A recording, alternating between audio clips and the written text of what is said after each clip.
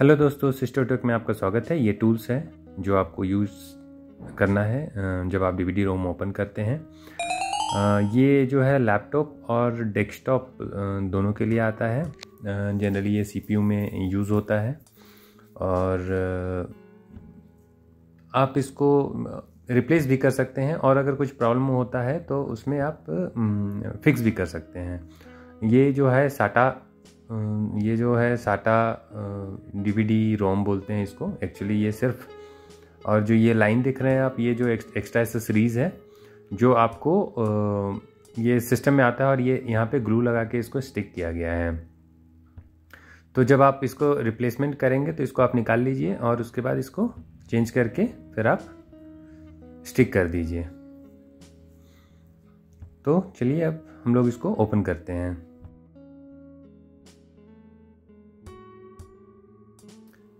ये जो screw driver है, ये आपको ऑनलाइन मिल जाएगा, और आप परचेज भी कर सकते हैं। अगर आपको चाहिए तो आप मुझे कमेंट करके बताइएगा, मैं आपको लिंक में दे दूँगा। और ये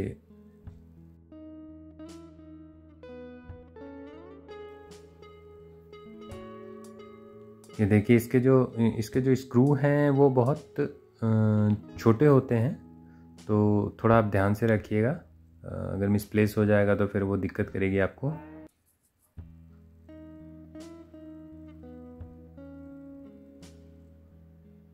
और इसको ओपन करने के लिए थोड़ा सा इसको स्लाइड करना है बैक साइड में। बैक साइड में स्लाइड करने के बाद आप देखोगे लेफ़्ट साइड में इसका एक हुक बना हुआ है।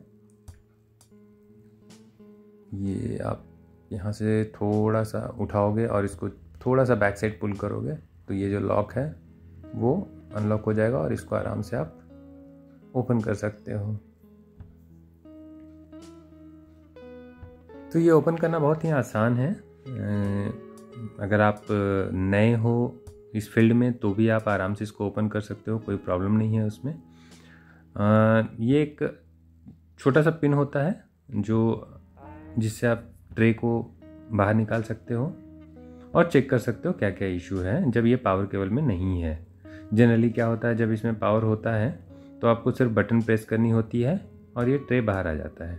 बट अभी ये पावर में नहीं है, इसके कारण आपको एक निडल निडल की ज़रूरत होगी जो ट्रे को बाहर निकाल देती है।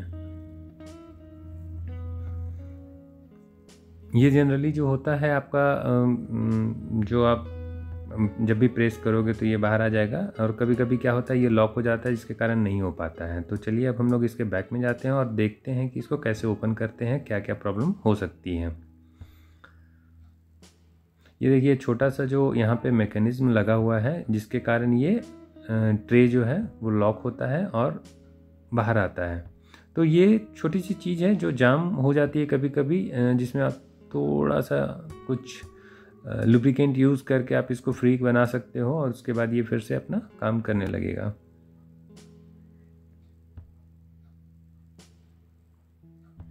ट्रांसमिशन केबल है, यहाँ से जो भी पावर वगैरह जो भी यहाँ पे आना जाना करते हैं, ये सब करते हैं यहाँ से। और रही बात तब आपके बैक से बैक पैनल में तो बैक पैनल में जो आपका है, ये दो स्क्रू ड्राइवर है तो आपको इसको दो को ओपन कर लेना है।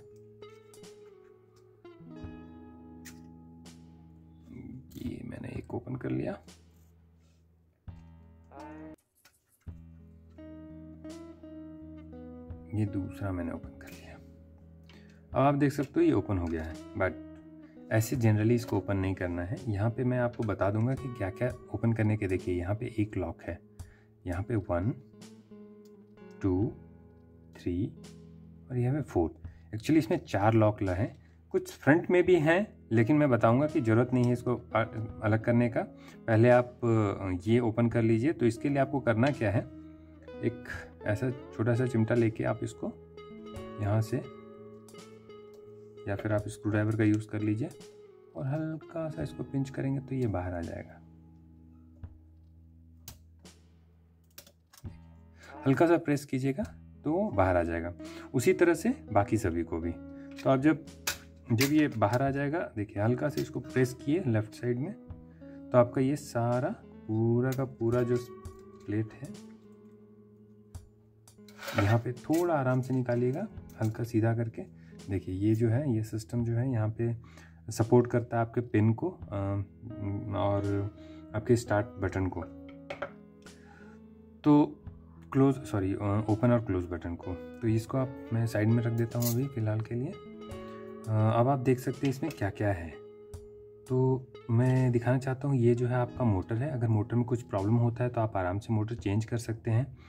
ये आपका जो हेड का मूवमेंट है, ये जो आपका बेसिकली लेंस है लेंस में आपका ये लेंस भी आप अगर आप, आपके पास एक्स्ट्रा है तो आप रिपेयर कर सकते हो, इसमें कोई प्रॉब्लम नहीं है। जस्ट आपको ये ध्यान में रखना है कि ये जो पत्ती लगी पड़ी है, ये जो प्लेट ये जो वायर है जो छोटा वाला तो ये जो वायर है, इसको, इसका कोई रिप्लेसमेंट नहीं है।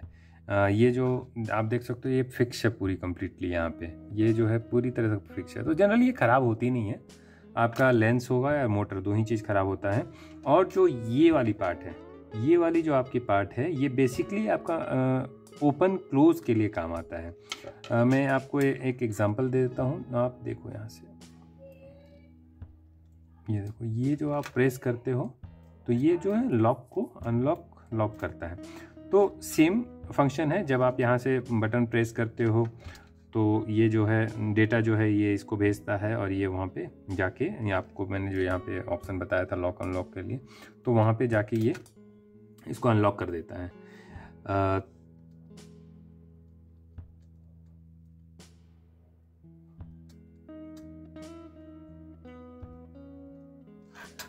तो ये सारी चीज़ें जो हैं आपको बस करना कुछ नहीं है एक ब्रश लेनी है और थोड़ा थोड़ा हल्का हल्का बस क्लीन कर लेना है। अगर आपको कुछ ज़्यादा यहाँ पे गंदा महसूस होने लगे और कुछ गंदा ज़्यादा लगे तो आपको थोड़ा यूज़ करना कुछ नहीं है। आपको बस थोड़ा सा आ, कोई क्लीनिंग जैसे मैं तो पेट्रोल का वगैरह का यूज़ कर लेता हूँ तो जस्ट हल्का सा आपको पेट्रोल यूज़ करके उसको हल्का सा क्लीन करना है। और कोशिश करना है कि इस एरिया को वो इफ़ेक्ट न करे क्योंकि बहुत सारे जो पार्ट्स होते हैं वो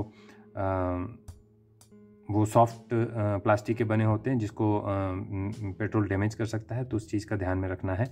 और बस बस आपको इस पार्ट को कुछ भी छूना भी नहीं है और यहाँ से आपको क्लीन कर लेनी है। देखिए, ये ये जो वीडियो है, हमने सिर्फ़ आपको नॉलेज पर्पज़ के लिए बनाया गया है, कैसे ओपन करते हैं क्या क्या प्रॉब्लम हो सकती है। इन सब चीज़ों को आप बस ध्यान में रखेंगे तो आप आराम से चेंज कर सकते हैं। अब आपका जो मेन पॉइंट है आपको ये ये आपका जो ये फ्रंट पैनल है, अगर आप इसको चेंज करते हो तो जनरली आपको ये फ्रंट पैनल नहीं मिलता है मार्केट में। सिर्फ़ आपको ये जो डिविडेड ड्राइव है वो मिलेगी। तो इसके लिए ओपन करने के लिए आपको वन, टू, थ्री, फोर। ये फोर पिन जो हैं, ये जनरली आपको ओपन करना है। तो आपको ओपन करने के लिए क्या है? यहाँ से आप प्रेस करोगे धीरे धीरे प्रेस करते जाओगे और इसको पुल कर पुल करते जाना। मैं एक, एग्जांपल दिखा देता हूँ आपको।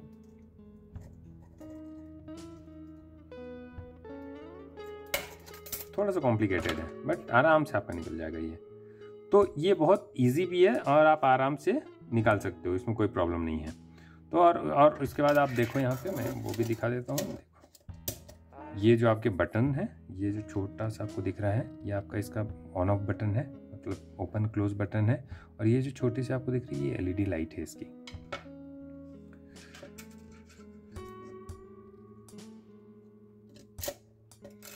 तो आपको आपको बस ये बहुत बड़ा मतलब कोई रॉकेट साइंस नहीं है, आप आराम से इसका यूज़ कर सकते हो, आराम से इसको निकाल बाहर, निकाल के आप नया अपना खुद, आप खुद से अपना नया एक डीवीडी टाइप आप डाल सकते हो तो इसमें कोई ये बात नहीं है। देखिए, आपका लॉक हो गया। तो ये छोटी छोटी चीज़ों को बस आपको ध्यान में रखना है, बाकी तो इसमें कुछ वैसा है नहीं। और चलिए अब इसको क्लोज कर देते हैं। देखिए, यहाँ पे एक इस चीज़ का ध्यान रखना है और इन सब चीज़ों का ध्यान रखना है। तो आप, जब आप लगाओगे तो सबसे पहले आपको इस यहाँ, ऐसे, और उसके बाद यहाँ, देखिए, ये है हल्का सा आप इसको, धीरे से इसको आपको प्रेस करना है, ये सेट हो जाएगा। ये सेट हो जाने के बाद आपको यहाँ पे थोड़ा थोड़ा दबाना है। देखिए, ये भी सेट हो गया। ये सेट हो जाने के बाद आपका इधर। इसको भी हल्के से प्रेस करना है क्योंकि ये बहुत थीन स्टील का बना है तो इसलिए आपको थोड़ी सी सावधानी बरतनी पड़ेगी। देखिए, ये लॉक हो गया। लॉक होने के बाद आप इसमें अब स्क्रू डाल दीजिए।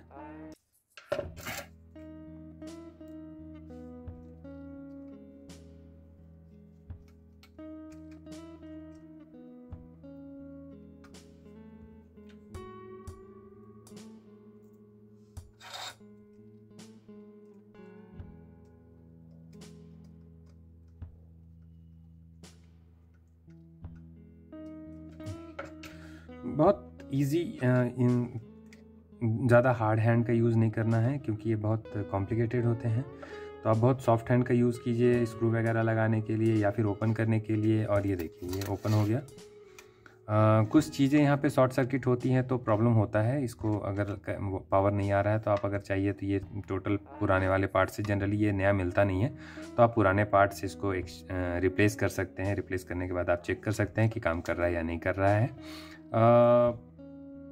चलिए तो फिर इसको हम लोग पैक कर देते हैं। ये हमारा हो गया कंप्लीट। अब हम इसका कैप लगा लेते हैं। कैप लगाने के लिए मैंने फिर से बताया था, आपको दो ही चीज़ का ध्यान रखना है। ये ये जो है आपको, ये देखिए, यहाँ पे जो है आपको पहले लगाना है और उसके बाद फिर आपको हल्का सा फ्रंट में आपको प्रेस करना है। तो ये जो है आपका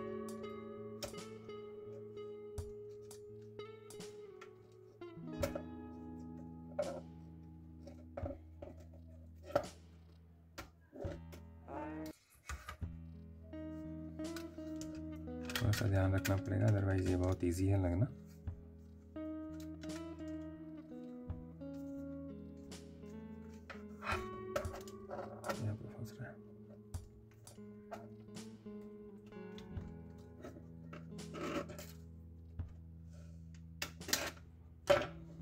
ये दो जो लॉक हैं, इसके कारण दिक्कत हो रही थी, लेकिन ये आराम से लॉक हो जाता है, देखिए। और थोड़ा सा आगे प्रेस कर दीजिए, ये पूरी तरह से लॉक हो जाएगा। अब आप इसमें स्क्रू लगा दीजिए।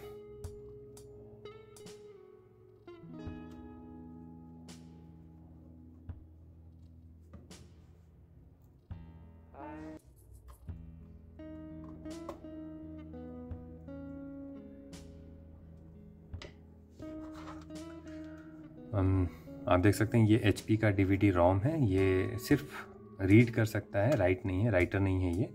और चलिए अब इसको हम लोग टेस्ट करते हैं और उसके बाद फिर आपको अपडेट करते हैं।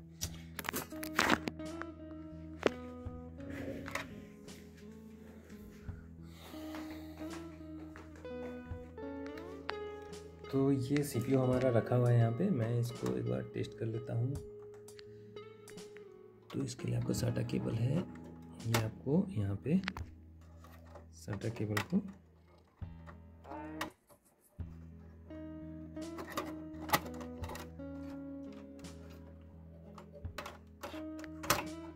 ये आपने, ये साटा केबल मैंने लगा दिया इसमें।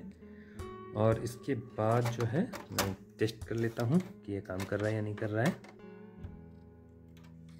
ये देखिए परफेक्टली काम कर रही है। तो ये कुछ चीज़ें होती है जो आपको सिर्फ़ ध्यान में रखना है। और मैं आपको दिखा देता हूँ फिर से।